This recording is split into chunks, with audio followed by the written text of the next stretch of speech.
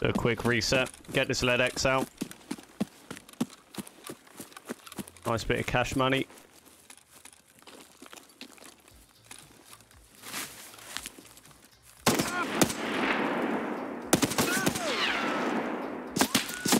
Oh, fucking two of them.